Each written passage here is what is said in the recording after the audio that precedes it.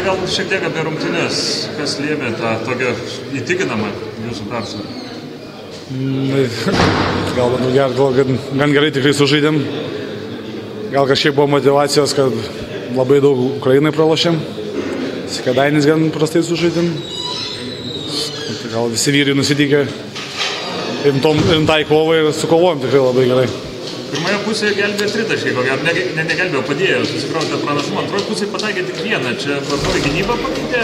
Jo, nu kai matėte, pradėjo keistis 1-5 vadinama gynyba. Pradėjom daugiau po krepšių žaisti, jie labai baudavosi, daug labai baudų medėm. Manau, tiesiog greit susigaudėm, kai jie pradėjo taip žaisti. Gana nemažai duobė buvo, šiandien tariant, antroje pusėje Kijeve. Šiandien taip pat trečias kelnys buvo toks blankokas. E, Tendencija? Nežinau, nu, tikrai negaliu šitą klausimą sakyti šiaip. Taip išeinama kažkaip. O išlaikyti tą ritmą turbūt padėjo paprastas žaidimas 2 prieš 2, nelemia. Tai, jo,